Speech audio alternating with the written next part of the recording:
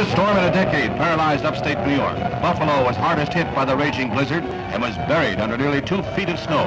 Removal equipment, crude by today's standards, could not cope with the fall, and traffic bogged down. It was estimated that stores and shops lost $2 million a day before the city was able to dig out.